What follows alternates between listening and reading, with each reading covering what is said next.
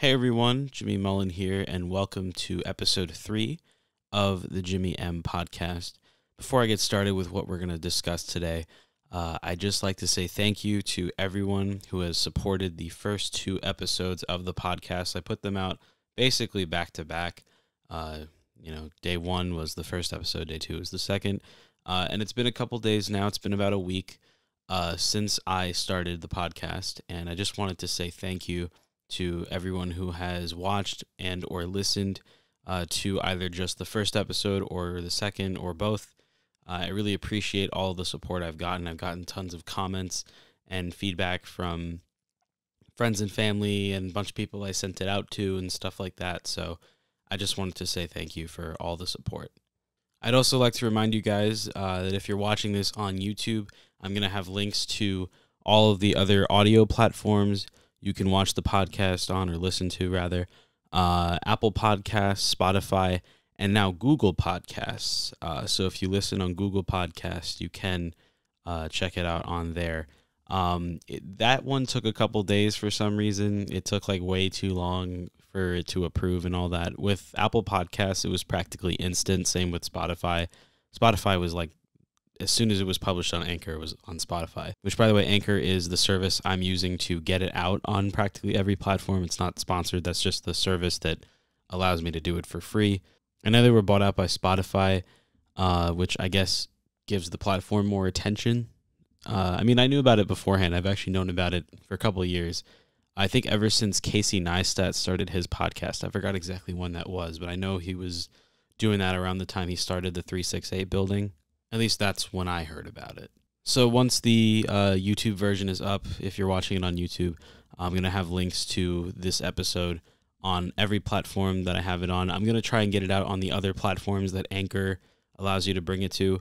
Uh, I will be doing that pretty soon. So stay tuned for that if you're listening on any of those. Not really sure, but if you are, hi, how are you?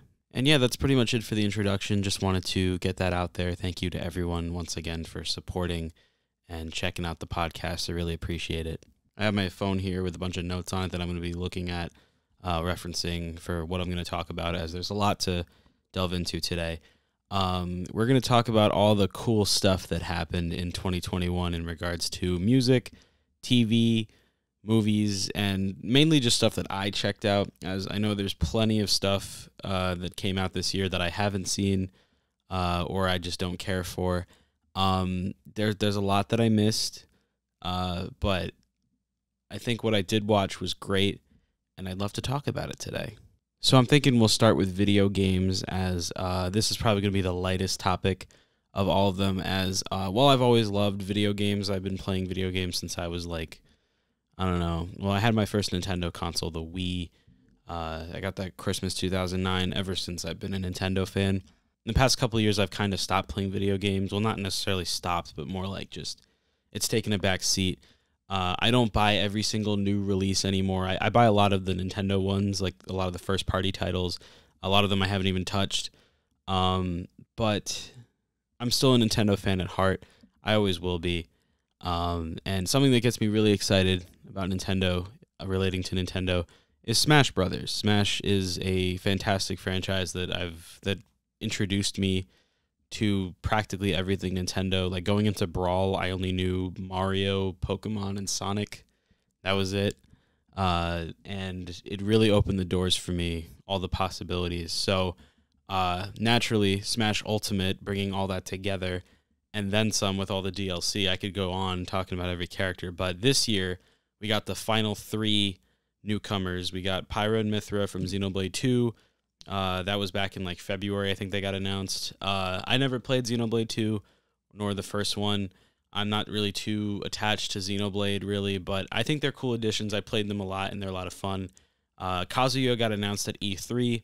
Um, honestly, I wasn't really that excited for it. I'm not too I'm not too big on Tekken. Uh, my girlfriend uh, is really big on Tekken. She loves Tekken. Uh, I've finally played the series. I have Tekken 7 now on PS4 and Tekken Tag Tournament 2. I also own, I didn't have those beforehand, uh, but those are a lot of fun. Uh, at least, you know, before Kazuya got revealed, I had like no attachment to Tekken. And then the last character to get revealed was Sora from Kingdom Hearts. Uh, as you may know, I posted a reaction uh, to Sora getting added to Smash uh, when they did the whole broadcast and all that. You can check that out on my YouTube channel. Um, I was very excited about that. Even though I've never played a Kingdom Hearts game, I just knew how crazy that was, how crazy of a deal that was because they had to go through Disney for that. Disney's not a video game company. It's the first time they've had to work with a non-video game company to get a character into Smash Brothers. Because uh, technically, he's an original character from a video game, uh, even though it's like a crossover between a video game series and a multimedia empire like Disney. So it was really cool to see that. Uh, I was very excited, and I love playing as Sora. He's a lot of fun. Uh, he, I feel like he's really broken, but I don't know. I'm not really a competitive Smash player. I just kind of play it for fun with my friends. So yeah, all that stuff was great. Uh, as for other game related stuff, uh, the only games I really touched were Mario Party Superstars and Nickelodeon All Star Brawl, at least for new titles from this year. Uh, Mario Party Superstars uh, was great uh, from when I played. Uh, I love how it's just an awesome culmination of tons of different classic Mario Party games.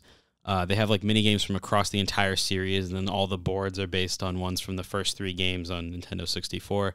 That's really cool. Um, I haven't played it too much, but I'm looking to have my friends over pretty soon to play it. Uh, I know there's an online mode, um, and I haven't been able to try that out yet, but I can't wait to do so. Nickelodeon All Star Brawl is really interesting. It's a Smash Brothers clone, uh, but it's all Nickelodeon characters, and uh, I play. I have it on on PS4, like the PS5 free upgrade or whatever. Um, and I, I I really like it. I think it's fun. I'm just really concerned with the fact that the game was like rushed, and I mean it was. the Like the game was released unfinished. Like they're just adding voice acting now to the game, like voice clips that the characters said and did nothing practically. Uh, like other than the animations and stuff, you didn't really get much out of the characters, and I feel like there's so much potential with that but it just didn't meet the mark on that end. Again, I haven't played it too much, but I really liked what I did. I tried out a couple characters, it was a lot of fun. And then, you know, this wasn't 2021, but this game's coming out next year. But we did get a trailer, so I thought I'd talk about it a little bit. MultiVersus is probably going to be something that's way up my alley. I'm more familiar with Warner Brothers and Cartoon Network stuff than Nickelodeon. Like, I grew up on Nickelodeon, but it's like a lot of the characters on there. Like, I'm not a 90s kid. I didn't grow up on a lot of the 90s shows. I'm not too familiar with a lot of them. I understand the impact that a lot of them have, and I think that's really great. Uh, but I don't know. A lot of them just didn't resonate with me, and I was more of a Cartoon Network kid anyway. I didn't watch too much SpongeBob growing up. MultiVersus looks like a freaking blast. Its focus on 2v2 is really interesting to me. I mean, you can do stuff like that in Smash, but to have that as the focus, I think is really cool it already has a really promising roster. Like we got some Cartoon Network stuff like Adventure Time, Steven Universe, uh, and we got you know Batman, Superman, Wonder Woman, Harley Quinn from DC. Uh, there's a couple other characters thrown in there: Bugs Bunny, Tom and Jerry, uh, Shaggy from Scooby Doo, but he's like based on like all the memes from a couple years ago. I thought that was really cool. And so far, it looks like it's going to be a pretty promising game. I know there were a couple leaks that showed some other characters. I think like Rick from Rick and Morty is going to be in the game. I think that's really funny. There's not too many characters that I would love to see in the game that haven't been already announced, but if there's one character that I would love to see more than any character, it's Ben 10, and preferably the original continuity Ben, whether it's the classic Ben or even Omniverse Ben, I think would be perfect because it's like Ben at his peak, like at the very end of the original continuity, I think would be fantastic. And especially with the recent passing of Derek J. Wyatt, it would be incredible to see. But anyway, the game looks like a lot of fun, and I'm really excited to see what they do with it. I'm hoping that it's great. It looks really promising, and it's free. It's going to be a free game, which is the best part about it. So, uh, I mean, yeah, they'll probably have like microtransactions and stuff to like unlock characters or whatever, but honestly, I'll take it it looks like a fun time. And as long as we get Ben 10, I'll be happy. I mean, I'm already happy, but having Ben 10 would make me ecstatic. That's going to do it for games. Uh, let's talk about music. Uh, now, music is something that uh, I'm in a constant loop with. Uh, I listen to the same songs over and over, and I don't explore my horizons much. There's a lot of artists that I love, and I've like hardly listened to their discography. I've like barely touched the surface when it comes to a lot of them, which is a shame. But there were a couple albums this year that I did listen to in full. doesn't happen too often with every artist. There's some albums that I like was like, oh, I'm so hyped for, or like, oh, that came out, and then I just never listened to it, or still haven't. There's a lot of that. Uh, there's albums that I listen to like a couple songs, and then I just never get around to finishing it. But the first one I want to mention is "Call Me If You Get Lost" by Tyler the Creator. This was a great album. Igor was fantastic, and this one was. I honestly, I think I think this one might be a little better than Igor. Um, those are the two albums that I've listened to in their entirety. As for the other ones, I have not. I'm actually wrong about that. I just listened to Cherry Bomb a little while back with my girlfriend, so there's that one too. I really love the song "What's Your Name" uh, featuring NBA YoungBoy and Ty Dolla Sign. I think it's the best I've ever heard NBA YoungBoy do on a song. Personally, I haven't heard too much of him, but this was honestly my favorite feature from him that I've ever heard. The songs with Lil Wayne, as well as the songs with Lil Uzi Vert and Pharrell, were also fantastic. Montero by Lil Nas X was so great. Uh, I've really loved to see all of the great stuff that's come out of Lil Nas X's discography and all the songs he's put out. They've all been bangers, and uh, I definitely see him becoming a great in the music industry. I see so much potential in him. He's doing he's doing phenomenally and he's really changing the game. Like he's really changing the agenda and bringing a lot more acceptance to LGBTQ and stuff like that. And he's doing a great job with it. And he's he's young. He understands internet culture. He knows how to promote himself and he's doing a fantastic job with it.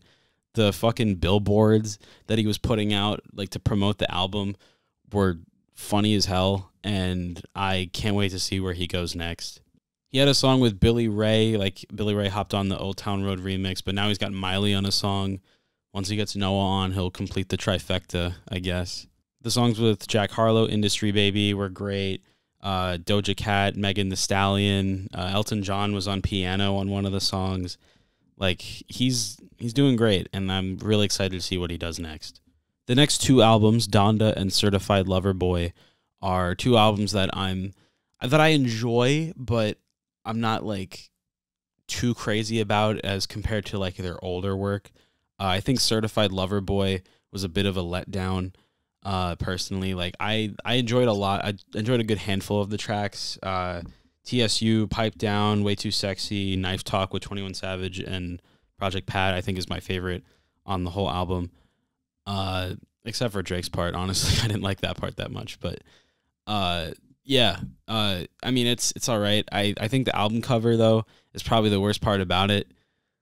Like just have just putting that album cover next to like all his other ones, it just doesn't. It just not. It just doesn't. I don't know. I just can't get over. It. It's like it's like a bunch of different colored pregnant woman emojis. It's like this is so stupid. Like at least make it look more like artistic because he literally just like copied and pasted like the same emoji and then change the color for like each one. It just I don't know. It just doesn't look cool to me. I feel like it could have been something a lot cooler, but I don't know. I feel like he's treating it as a joke. I mean, because he can. I mean, it gets people talking, but like I don't know. I just didn't like it that much. Album probably could have been better too. And as for Donda, uh, Donda's great. I love Donda. Uh, way more than Certified Lover Boy. I feel like that one has way more replay value it's got like feature on top of feature on top of feature. There's so many great ones. What we got here? Jay Z, Playboi Carti, Fivio Foreign, The Weeknd, Lil Baby, Baby Keem, Travis Scott, Lil Yachty, Young Thug, uh, Pop Smoke was on like an alternate version of We Made It. That was the name of the song, right? Or Tunnel Vision. I forgot the name of it. Uh, Tell the Vision. No, yeah, it was Tell the Vision. Uh, yeah. By the way, that new Pop Smoke album very disappointing. Uh, I feel like it was more of a cash grab. I feel like Shoot for the Stars, Aim for the Moon was more complete, or at least as complete as it could be. Faith, they were definitely reaching. I will just say that. I didn't enjoy that album very much overall. And then to top it off, we had uh, Life of the Party on the deluxe version of the album with Andre 3000. Uh, I feel like that song drags just a little bit, but I think it's one of the better ones out of the whole album. And then uh, before I get to my favorite album of the year that I listened to, uh, I listened to part of Baby Keem's album, The Melodic Blue. Uh, the two songs with Kendrick Lamar are great. Range Brothers and Family Ties, fantastic songs. They're so catchy. Probably some of the best I've heard all year. And then while I didn't listen to these albums really, I just want to say that what Taylor Swift is doing with re-releasing her old albums and so that way she can get the masters for all of them because she lost them through some buyout or I don't know the exact details, but I think what she's doing is great and uh, I'm just glad that she's able to get her own music because you know, not being able to perform or do anything with your old songs because a record label has a hold of them sucks. So by doing this loophole by re-recording all of them, I feel like it's an event and plus it's nostalgic for all the people that grew up listening to her, all the Swifties and shit like that. You know, it, it's really great for them and I I congratulate her for all of her success and what she's doing with that. It's not often you see an artist re-record an entire album. Usually it's like they fix up the audio and make it sound clearer or something. But no, she's literally re-recording every song and then including new ones on top of that. Well, not new ones, but like unreleased songs that she's saying they're like from the vault, like the Disney vault or whatever. I think that's cool too. And then my favorite album of the year was An Evening with Silk Sonic by Silk Sonic. I know there were hundreds of other albums that came out, but this is the one that really got me going. Uh, it was such a long wait though because like they put out leave the door open. I was like this sounds like it's going to be something crazy. And then they came out with skate. Smoking out the window was a fucking blast. And then they dropped the rest of the album and i'm so mad that it's only 30 minutes. It's only i don't even know how many tracks it has like 10 or 12 um but it's it's fantastic. Uh every song on there is great. I love it. I know some people didn't like it as much but i loved it it was fantastic. Blast Off, it might be my favorite song on the album. That's the concluding track on the album. Might be my favorite overall. Okay, we're going to get into TV now. This is going to be a bit more brief as I don't really watch too many TV shows and then I have all the Marvel stuff at the end.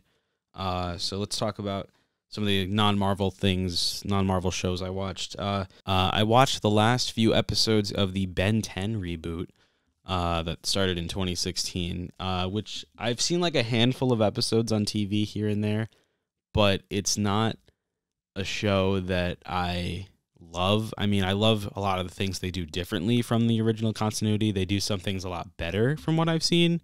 Uh, but a lot of these, like these, they did these like three episodes. They were like, I don't know if they were like one hour specials or like an hour and a half or something, but they were these like m- almost movie length final episodes of the show. Uh, they had the first one was like a future episode with Ben 10,000. I thought was great. They did one with Generator Rex, which of course we haven't seen for years. Which, by the way, um, they should bring Generator Rex back on HBO Max, or at least put the show on there so I can watch it because that's a great show. So underrated and so unknown for a lot of people that didn't check it out or anything. It's a great show. If you have the chance to watch Generator Rex, do it. And then the last episode was Alien Extinction. Uh, they made Alien X like a villain, and it's like, oh wait, what, what's going on with that? And then they have like every version of Ben, like one from like each show, come in, and like Yuri Lowenthal even comes back to voice some of them. I think that's great. They had one from the OG series. They had one from Alien Force, Ultimate Alien, Omniverse. Uh, it it was just a fun time all around. I thought it was really cool to see that. Uh, we had the return of like Chroma Stone and Amphibian. A lot of these aliens I grew up loving. It was fantastic all around. Uh, it's on HBO Max, which is what I was waiting for to watch them. Uh, if you have not seen it, do yourself a favor if you're a Ben 10 fan, at least check out the final three episodes of the show. Um, as for someone who hasn't seen most of it, uh, I will check it out eventually. I just have so many shows I gotta watch beforehand, so uh, it is on my bucket list though. As for anime, um, I watched a good amount of it in like late middle school, early high school, and then like throughout all of high school in the last few years, the only anime I've really watched is Dragon Ball, uh, specifically Dragon Ball Z, Dragon Ball Super, um, which is a franchise I've grown to love so much, so dearly. It pains me that I didn't get into it sooner, because it's so cool and so amazing. But a show that I got recommended uh, was Cowboy Bebop, and it was so fun and so riveting. It was amazing, and uh, honestly, might be some of my favorite animated material I've ever seen. I gotta watch it a few more times to really appreciate it. Um, but from what I've seen, I love it. It's fantastic, and I wish they uh, would have done more. But it's only 26 episodes, and I haven't seen the movie. They did make a live action adaptation of Cowboy Bebop this year for Netflix, and it's already been canceled. Um, I started watching it. I haven't seen the entire thing, but it's all right so far. I mean, it's not great. Honestly, I think it would have been better if they just left it alone. Not every honestly, I don't think everything needs a live action adaptation, but hey, if they can make money on it, they might as well. And um, I don't think it's disrespectful or anything to the original because they even put the original show on Netflix around the time this new one was coming out. So you can still watch the original show. It's not like they're getting rid of it. It's just another way to watch it, I guess. It's not the exact same thing, but I digress. And then finally, for shows other than Marvel, Stranger Things was a show I watched for the first time this year, thanks to my girlfriend who loves the show endlessly. Uh, she's been a fan for quite a while. I don't think she was a fan at the very beginning, but uh, she hopped on the train for it a couple years ago, and I finally got to watch it with her, and it was fantastic. All three seasons were great, and I'm so hyped for the fourth one. Uh, the fact that I don't have to wait as long as everyone else because at this point it's going to be uh, by the time the fourth season finally comes out it's going to be like 3 years since the third one came out. So it's like a 3 year wait from seasons 3 to 4. And a lot of that of course was due to the pandemic, but I'm really excited to see what they do with the fourth season. I have no idea what's going to happen. I'm just so hyped for it and I'm I can't wait. A little unrelated, but you know, it's related to Stranger Things. Uh, my girlfriend and I uh, went to the Stranger Things store in New York City, the little pop up shop they had in Times Square. We went twice actually.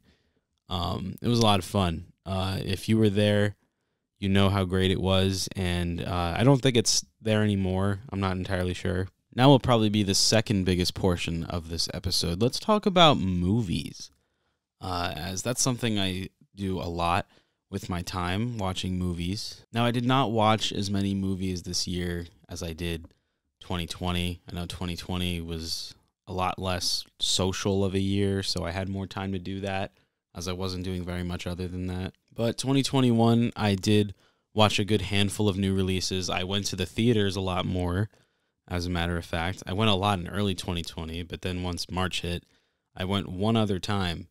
Uh, I think it was like November or August or something. I forgot what month it was that I went to go see Tenet, but uh, that was like the one movie I saw after the pandemic started in 2020. Um, as for 2021, I saw a good handful of stuff in theaters. Uh, but real quick, I just want to talk about some movies or like mention some movies that I watched for the first time this year that I loved. Uh, I started out the year watching the first three, not the first, the, the three how to Train Your Dragon movies. Uh, I had never seen them before. They were fantastic. Uh, some other movies Swiss Army Man, uh, Crazy Stupid Love, Semi Pro was really stupid, but I loved it. Uh, Dragon Ball Evolution, uh, which is not a very good movie at all. It's terrible, as a matter of fact, but I watched that for the first time this year. Thought I'd mention it. Spring Breakers, uh, The New Mutants, which came out in 2020. That movie was in like development hell kept getting delayed, and then they finally put it out in 22. It was about to finally come out, then the pandemic hits, so they had to delay it again. Yeah, that was a whole mess. Um, what else? Uh, the lack the what else? Uh, the last blockbuster documentary got put out on Netflix, so I checked that out. Uh, Trick or Treat. I watched with my girlfriend. That was a really fun movie. Uh, Freaky was another fun movie, directed by the same guy who made the Happy Death Day movies. Uh, those are really fun. Uh, so I really enjoyed myself with Freaky. That was a great movie. Uh, Eight Mile, I saw for the first time this year. I had never seen it before. Uh, I watched the Ewoks movies, the TV movies. They put them out on Disney Plus randomly this year. Actually, no, I think it was for Star Wars Day. I think they put those out. Um, but I didn't watch them on Star Wars Day. It was like a random day in the summer. Uh, Adventures in Babysitting, another movie I saw this year. Uh, a goofy movie, never saw that until this year. Uh, I watched the John Wick movies. I had never seen those before. Those are fantastic, by the way. Uh, very good movies. And uh, the Halloween movies I watched, uh, all of them, all the way up to uh, the 2018 Halloween movie. So I saw Halloween, Halloween 2, the third one that was like the one about the masks, uh, the fourth one, five, six, uh, the H2O one, uh, and then was it Halloween Resurrection? That movie was terrible. Uh, and then the the Rob Zombie ones, I thought those were all right. Uh, and then uh, we watched the new one, not the new, the newest one, but the the 2018 one. That's like a sequel to the first. Retcons all of the other ones. It's like, yeah, no, those don't exist. Those didn't happen. Uh, they've rebooted this franchise, I think, like two or three times. It's very confusing if you want to watch all of them, which I did. Uh, we were, we, my girlfriend and I were watching them all in anticipation for Halloween Kills uh, but life just kind of got in the way and we never got around to see it. So I still have not seen the new one. Uh, but I'm really looking forward to doing that uh, either in the new year or in the last couple of days of this year. I don't know. We'll see. I also watched the two original Ghostbusters movies for the first time. I had never seen them before. And all I can really say about those about those two movies that really stood out to me was that Bill Murray's character Venkman is an asshole. That's all I can really say.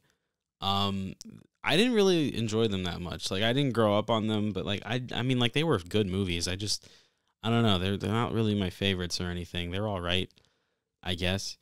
Um, this new one, however, Ghostbusters Afterlife, I will get to later, but that was a major improvement, I will say. Um, and then the final movie that's like a highlight, at least that I had never seen before, was The Amazing Spider-Man Two. Uh, it was the one movie uh, that I watched uh, that I hadn't seen uh, from like the live action Spider Man movies. Uh, I I didn't enjoy it as much. Uh, you know, the studio kind of was like, "Oh, you got to have the Goblin in there," and Jamie Foxx's Electro was pretty lame. but they made up for it in No Way Home, which I'll talk about later. But yeah, I watched The Amazing Spider Man 2. Thought I'd just mention that. Um, so now I'm going to talk about 2021 movies.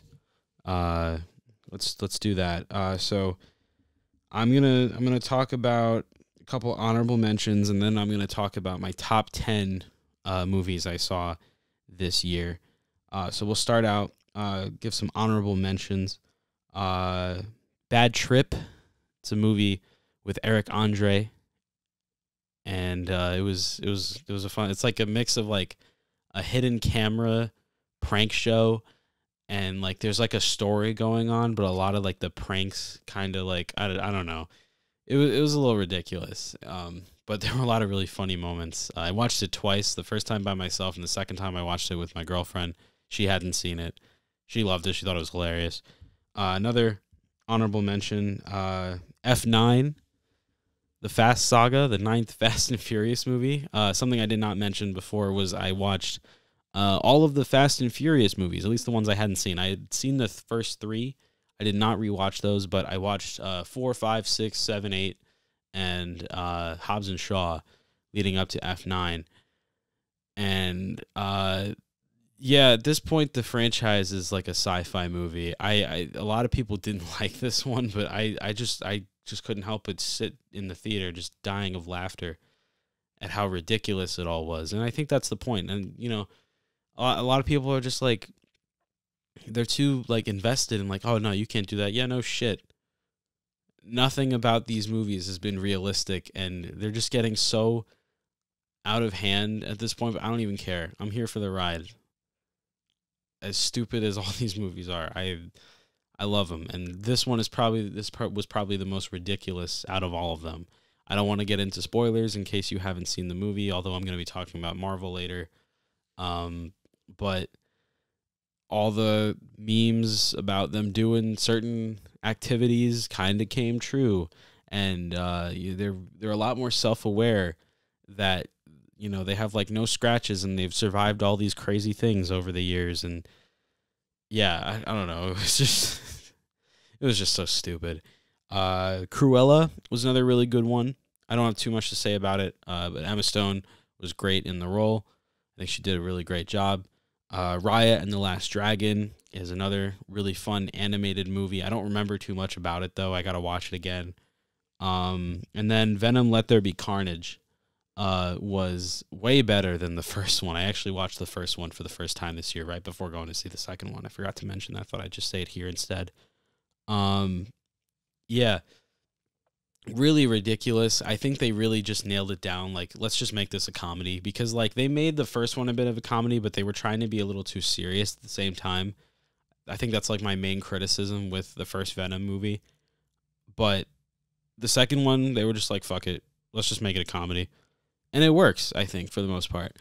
Um and you know with it tying into the mcu a bit and all that it's uh so it's i don't know if it's a must watch if you're an mcu fan but i mean if you like venom you like spider-man might as well check it out. That's why i checked it out. Uh and yeah that's gonna do it for some honorable mentions. Uh let's get into the top 10 movies of 2021 uh, starting out number 10, Black Widow. Uh, not one of my favorite MCU movies, but still pretty good. Um, I just feel like the stakes of the movie weren't very high or anything.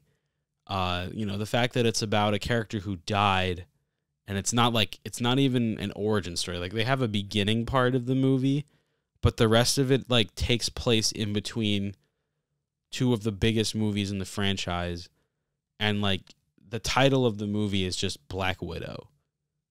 It's like I don't know. It, it, just like I mean, if it was like Black Widow and like a subtitle or something like that, I feel like that would have been more understanding. But I don't know. You you kind of set this precedent that it's like an origin or something like that, but it's not. It's really not. Um, still a great movie though. Uh, Yelena was was hilarious. I think she stole the show, practically the whole movie. Uh, yeah, that's all I really have to say. Uh, the Mitchells versus the Machines was great. Uh, that that's such a great animated movie. If you've never seen it, it's on Netflix. Check it out. Art style is to die for. Uh, it's so wholesome, and uh, it's about a nice little family gathering, vacation, and stuff, and like robots take over the world and shit. Uh, it's it's a it's a good time. Uh, I really enjoyed it. Uh, Godzilla versus Kong is number eight. Uh, probably the best out of all of the newer MonsterVerse movies, and I loved Kong Skull Island. I love that movie. Uh, as for the two Godzilla ones, I watched those for the first time this year as well. Uh, I didn't really like them. I didn't really like them that much. They they were they were kind of meh. Uh, Godzilla versus Kong is a great movie though. If you've never seen it, uh, number seven is Free Guy. Free Guy is uh, a fun time, I think, uh, especially if you're a fan of Ryan Reynolds. It's uh, it's a must watch. I think personally. Uh, I had a fu- I had a fucking blast with it, and it's coming to Disney Plus. I think in like January or something. Like they're putting it out on Disney Plus, which is awesome. So uh, if you've never seen it, uh, I guess wait till then or something. I don't know. Or if you're able to access it, you should watch the movie anyway. It's a fun time. Uh, number six was The Suicide Squad, the new James Gunn directed sequel to the 2016 disappointment. Uh, he did a great job. This movie, I, I kind of want to thank Marvel for firing him, only because he made this movie, and he they let him practically do whatever the fuck he wanted, and uh, it was a fun time. I really enjoyed it uh, it blows the original out of the water by a landslide. And they kind of like by calling it the Suicide Squad, not even calling it Suicide Squad 2, it really just goes to show that they really prefer this movie over the original and they kind of just wanted to wipe it out. Um, and I mean, yeah, there is some like continuity from the second, from the first one that goes into the second one. Like, you know, it's a few same characters like Harley Quinn uh, and a few other ones. Uh, there's a lot of new ones in here, like John Cena and Idris Elba are in this movie, and they're great. They're fantastic. Uh, yeah, that's all I really have to say. Uh, number five is Ghostbusters Afterlife. Uh, very, very surprising how good this movie was. Uh, I wasn't expecting too much going in, as I didn't really enjoy like the originals as much. Like there's they're good movies. It's just like you know they're not like groundbreaking, fantastic, awesome. I know they're very nostalgic for a lot of people. I just didn't enjoy them as much. Uh, but uh, Ghostbusters Afterlife fucking blows those movies out of the water. They're they're so good. They're very very good movies. I mean, but Ghostbusters Afterlife is a very good movie. It's it's I don't know, man. It's it's just really fun. Uh, Paul Rudd is great. Finn Wolfhard, McKenna Grace, they're all fantastic. At number four is Malignant, and I don't have too much to say about this movie, other than I was not expecting the plot twist about it. Uh, but I really enjoyed it. It was it was like it was a little nerve wracking, a little bit, a little little disturbing, but I still enjoyed it nonetheless. It was it was actually really fun. Number three is Shang Chi and the Legend of the Ten Rings. Uh, this was a really nice surprise, a great origin story that we you know we haven't had one of those in a while. Uh, so this was really nice. Uh, Simu Liu is great as Shang Chi. Uh, Awkwafina was like the funny gag character, but she was she was great. A nice post snap MCU movie, uh, and I'm really excited to see uh, what they do with this character in the future. I know a sequel is already in the works. Honestly, if they get the same guy to direct a Dragon Ball live action movie, I feel like he could do it really well. But I don't know about anyone else. A lot of the visuals were great. A lot of the action scenes were great. I feel like if that guy was making a Dragon Ball movie, he'd do fantastic. I remember Chris Stuckman said the same thing in his video on Shang-Chi, and I agree. Number two is A Quiet Place Part 2, which for most of the year, this was my number one movie of the year. Um, but I gotta say, it's been brought down to number two, but uh, it's for good reason, which I'll get to in a second. It might be a little obvious, but whatever. Um, yeah, Quiet Place Part Two was a lot of fun. I loved the first movie. I didn't see it in theaters, but I watched it like about two years ago, like in 2019. Um, I loved it. John Krasinski did a fantastic job in that movie, and this second movie is honestly better. I actually liked it more than the first one. Uh, I saw it twice in theaters. Uh, the second time was at uh, my friend's movie theater that he was running at the time. But the first time I saw it, uh, was actually on my birthday. I saw it with a couple friends, Evan, Justin, and Mauricio. Uh, it was a lot of fun. I, I really enjoyed it. All of the all of the characters were great, acting wise. They really brought the roles to life, and they they did such a great job. It just felt really natural. And number one, if it wasn't obvious enough, Spider Man No Way Home is my movie of the year, my most anticipated movie of the year by a long shot. And they fucking nailed it. and they fucking nailed it. Uh, especially if you are a fan of the older Spider Man movies, they bring back all of the villains from those movies and uh, a few more surprises, which I'll get into in a bit. Um, but honestly, it's the best Tom Holland has been in the MCU. It's the best of the home trilogy that the MCU has brought to life. And all of the villains are great. I loved seeing them all come back. And uh, Willem Dafoe as the Goblin was great. Uh, Alfred Molina's Doc Ock, Jamie Foxx as Electro, Thomas Haden Church as the Sandman, Rhys Ifans, or I, I don't know how to say his name, I'm sorry, as the Lizard. Um, were all great. I loved them. Uh, Doctor Strange being there was great too.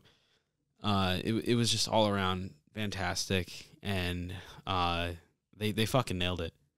Honestly, a ten out of ten, and it's not even like the movie hype, movie theater hype. Speaking to me, I just genuinely really enjoyed that movie. Um, I went to see it with my girlfriend opening night, and the energy was just fantastic I'll get to that later though. Um, but yeah, number one movie of the year.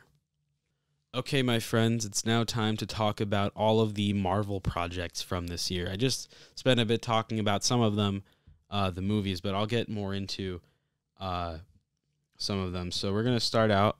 Uh, we're gonna talk about WandaVision. Uh, the first MCU project to drop this year was a Disney Plus show. Uh, the order for when these shows was gonna come out uh, was a bit moved around, and I mean, you know, some of that was out of their hands. We were in a the pandemic numbers were crazy high. There was no vaccine, so they had to do what they could with what they had. But nonetheless, uh, mid January, we got the first two episodes of WandaVision. Uh, and honestly, WandaVision might be my favorite of the four live action MCU shows to have come out. Uh, all of the, all of the, and by the way, moving forward, uh, I'm just going to be talking spoilers. So if you haven't seen any of these, uh, do yourself a favor, check them out. Uh, the shows are on Disney Plus, and the movies, some of them are on Disney Plus, some of them are coming soon to Disney Plus. I think Eternals is coming out in January. Spider Man, I know, isn't going to be on Disney Plus, but uh, it should be on like digital in like April, I think. So, uh, or just go see the movie in theaters if you haven't. It's so good. Anyway, with WandaVision, all of the uh, emotions, all of the stuff that happens in the show. I love all the references to older sitcoms and stuff like that. I think they did a fantastic job with it. And honestly, I feel like this was like sort of a passion project for Marvel Studios because it's like, oh, what other opportunity are they going to have to make a sitcom? And they they did a fantastic job with with doing it. Uh, I love all the charm that it has, and uh, all the deeper things about it with grief and suffering and loss, all of these heavy topics. They they did such a good job with with discussing all of that. And uh, now they can finally call her the Scarlet Witch because of the Disney Fox buyout. So, I mean, hey, now's a better time than ever. As for the uh, the Ralph Bohner fake out with Quicksilver and Evan Peters, I'm very disappointed. I was really hoping that like he would be the new Quicksilver, but honestly, that might not even happen now. Maybe with the Doctor Strange sequel, we'll get something cool, but I mean, as of right now, I, I guess they're just not bringing Quicksilver back, and they just wanted to do it as a little fan thing. And although it led to nothing, uh, still really exciting though. Uh, nonetheless, the fact that Evan Peters is even in the show uh, I remember that got leaked like a few months beforehand, and I just took it with a grain of salt. I was like, yeah, that's probably just a fan thing. But then it actually happened, and I was like, oh shit. They're really doing this this early. I like, you know, everyone was like, "Oh, it's just it's going to be a couple years before we get any Fox Marvel projects." So they already have so much lined up, but no, they just threw in Evan Peters as Quicksilver into the WandaVision show like it was nothing.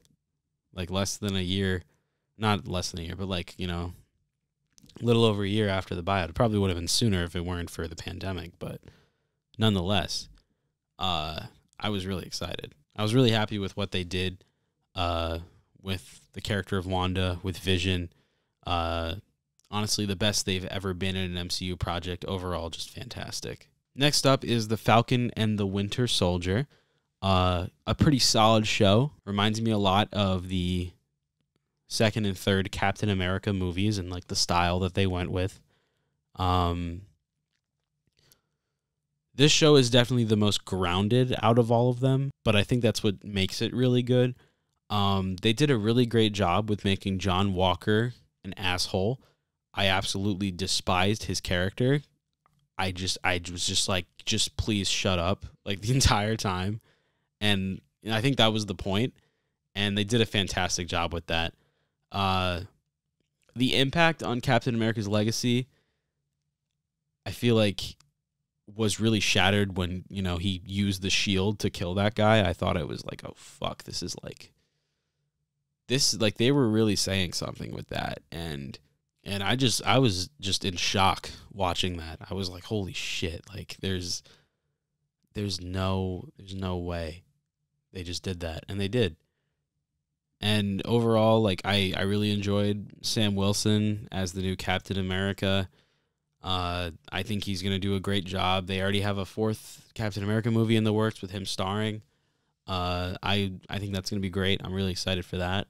Zemo was also great. It was really interesting seeing him back. Having the Dora Milaje show up as well was really cool. That whole fight scene in the hotel room or whatever it was was really great too. The conversation with Isaiah Bradley was fantastic and really heartfelt. Love that too. And yeah, that's it for The Falcon and the Winter Soldier. Those are my thoughts on that. As for Loki, uh, a show that I initially thought was like my favorite of the three, but you know, thinking about it more and more, uh, I feel like the relationship with Loki and Sylvie was a little not not not to say it was bad, but I don't know. I feel like it took over too much of the plot, and the finale was just an entire setup for the second season. It, it didn't really feel like a finale. It was just like, oh, it's on a cliffhanger, and well, yeah, you know, a lot of shows end on a lot of seasons end on cliffhangers, but like, come on, uh, they could have done a lot better with that. At least give us some kind of conclusion, because they really don't. I think the best part of Loki for me was the dynamic between Loki and Mobius. I think that was fantastic, honestly. I like like if I had to think of like my favorite part of Loki was just probably the interactions between those two. Every time they were on screen together, it was great. Not to say the show was bad or anything. I really enjoyed it. Uh, it's just that I feel like the finale was a little empty looking back. It was nothing but just set up for the second season and uh, you know, I I really hope the second season's good, and uh, I know it probably will be. But I feel like uh, you gotta do some cool stuff with the first season too. At least have a good ending or conclusion for that. The entire finale was just Kang talking for like 40 minutes. Just a little underwhelming. What If was an interesting project is the first animated series from Marvel Studios. Uh, there have been plenty of animated Marvel shows over the years, but but this was the first one coming directly from the movie studio uh, that's actually connected to all these movies. I really enjoyed a lot of the stories they did, especially the zombies episode. That was probably my favorite one. Uh, I really enjoyed the Strange Supreme episode, the one with all of the Avengers dying. I thought was really cool. I enjoyed the finale episode that like had all of these characters coming together. Although I'm a little disappointed that you know they didn't do the whole Tony Stark going to Sakaar episode. Like you know those characters are in the finale, but they didn't even do that episode. I was a little confused. I was like, wait, did I miss something? Like initially watching, because I remember like there was a Lego set that came out, and like like I remember seeing that at Target, and then like you know they come out with this you know this finale and like they have like Gamora in there with Thanos' armor. It's like, yo, where were you this whole time? like what happened with that? I don't know. They just kind of it was just like, "Oh yeah, they're here too." It's like, "What's going on with that?" Uh, I know apparently a lot of that was due to the pandemic and they had a deadline. So, uh, they had to cut the episode. But like I mean, come on. Like why even have them in the finale if that episode didn't even air. Like save it for next season. I'm pretty sure they're gonna do something with it next season because you know there already is a second season in the works, and I'm really excited to see where that goes. Um, but like for now, it's like oh, like I don't know. I, I just felt like the finale was a bit empty. I like the fact that like Ultron just killed Thanos instantly, and now I definitely see why they just you know they basically killed Vision in Infinity War. Well, they did kill him, but like they they pretty much nerfed him in the beginning of the movie by having him get stabbed by the staff. It's like, oh, yep, uh, our only hope in killing Thanos instantly is now gone. Uh, so yeah, there's that. That part was just really funny. It was like, oh, it's that simple, huh? Still a pretty good show overall, though. As for the movies, I already touched on them a little bit. Black Widow, uh, not my favorite MCU movie. I feel like uh, it could have been a lot better, and I feel like just calling it Black Widow is a bit misleading. That might just be me, though. I don't think I'm alone on that, though, actually. Shang-Chi was also really great. Uh, I really enjoyed that as well. Eternals, which is something I have not talked about yet. Um, but honestly, uh, I even like after getting out of the theater, I can't say it's one of my favorite MCU movies. It's definitely on the lower side. Um, great cast of characters though, like great casting and all that. A lot of really great new faces coming into the MCU. Freaking Kumail Nanjiani was probably the best part. Him and his agent or whatever he was, his valet. Uh, they were they were fantastic. Uh, I don't know. I just I feel like the movie dragged on too long, and the movie's like two and a half hours, and they had all this like you know. Of course, they got to explain all this, but I feel like they just dragged it on for so long, and by the time the action was coming around, I was just bored. I don't know.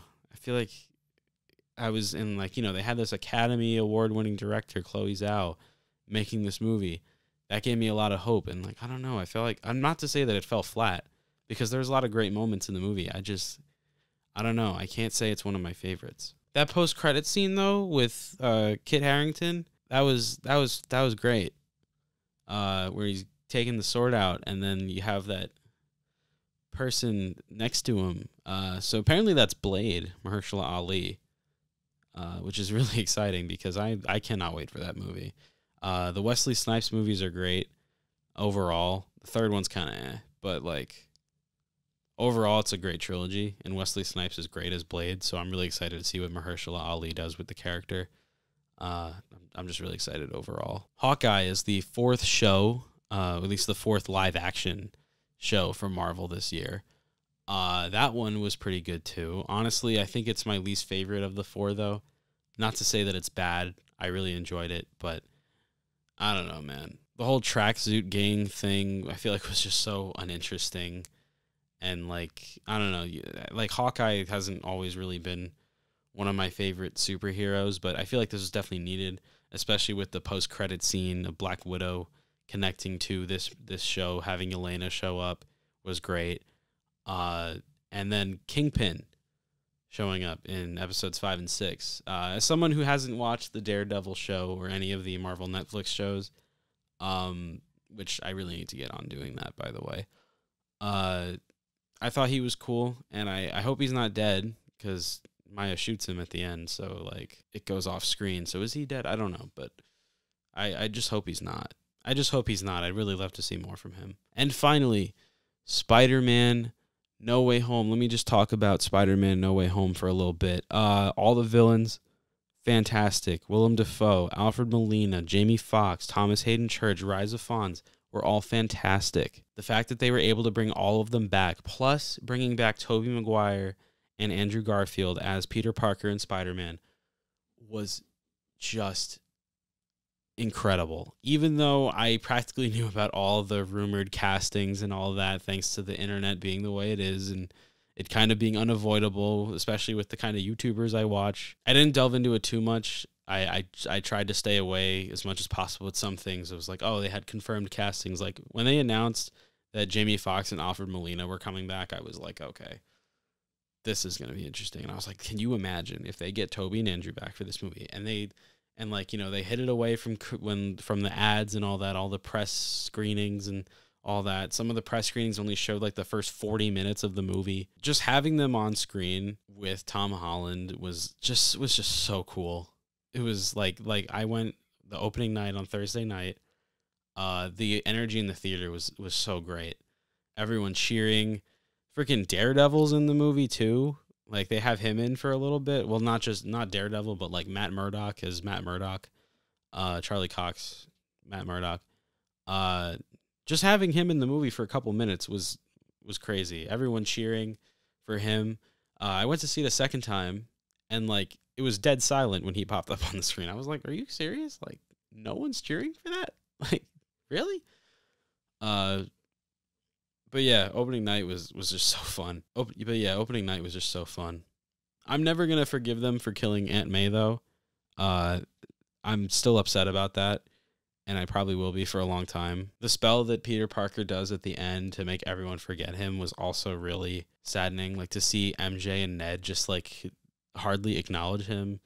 And like, I, I feel like the continuity is a bit odd though, because like she's still wearing the Dahlia necklace. So, like, how does that work? Like, does she know where she got it? I feel like I'm just nitpicking, but like, but like, I was just, I was even wondering that the first time I saw the movie. I was like, she's still wearing the necklace. Does she know where she got that? I don't know. Uh, but yeah, uh, the movie was great. The new suit at the end is also really cool. It's even more comic accurate than the first MCU suit they did for Captain America: Civil War. Uh, yeah, I overall I I love the movie. It was a fucking ten out of ten. If you haven't checked it out more than once, uh, do yourself a favor, watch it a second time or a third time. I'm probably going a third time at least before it leaves theaters because I I just I loved it. It was so good. And honestly, honestly, I don't know how they can top it. I don't know what they're gonna do. Anyway, everybody, uh, that's gonna wrap it up for this episode of the podcast. I just wanted to take this time to talk about all the cool stuff from this year, and I'm hoping that 2022 brings a lot of really cool stuff to the table. Marvel already has three projects that are coming out. They're all sequels, but honestly, who cares? Uh, they're all characters we've grown to love at this point. We're getting a new Doctor Strange in May. That looks really promising. Apparently, there's going to be a lot of cool cameos from older Marvel projects in there. Like, I don't know. I'm not going to, I don't want to get into who because, you know, in case they're actually in the movie, I don't want to spoil it, possibly spoil the experience for anyone. I'm trying to go in that movie as blind as possible. Uh, that movie's coming out. Uh, we're getting a new Thor movie, which I loved Thor Ragnarok. So if it's it's probably going to be just like Thor Ragnarok, and if it is, I'm all for it. And then we're getting a Black Panther sequel in November. Uh, really interesting to see how they're going to do that with the passing of Chadwick Boseman. Uh, I don't know how they're to do it. Uh, I I kind of wish they would recast him though, because like T'Challa was like just getting started, and now they're just to kill him off. And like, what are they to do from here? Is it really to be the same? or anything. I hope I hope they do something with it. I even I would even go as far as to say bring back Michael B. Jordan as Killmonger, make him the new Black Panther, and like, you know, maybe tone his violence down a bit, give him a change of heart or something. I think that would be cool. There's a new Robert Pattinson Batman movie coming out. There's a Flash movie that's supposed to have a bunch of DC cameos in it. Uh, yeah, th- there's just so much happening in 2022 it like I feel like 2021 was already jam packed with a bunch of stuff, and 2022 is probably going to be even crazier. It's like all the stuff that was supposed to come out in 2021 but was delayed, plus a bunch of other stuff too. I feel like the next few years is just going to be jam packed with like tons of projects, and Marvel doesn't look like they're slowing down anytime soon because they have stuff lined up for 2023 and beyond. And there's a bunch of stuff coming out on Disney Plus, like tons of shows they've announced and shit like that. I didn't even get into that.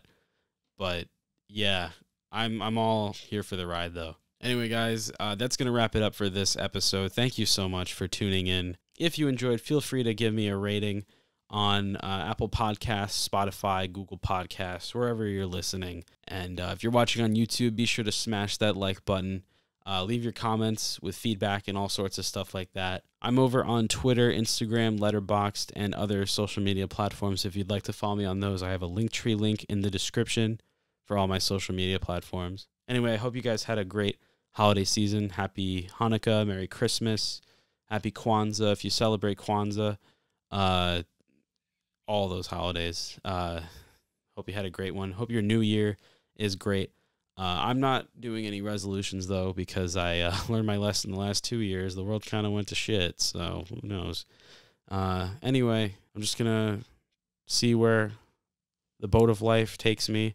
Hoping to get this podcast out more. Uh, hoping to do a lot with it this this upcoming year.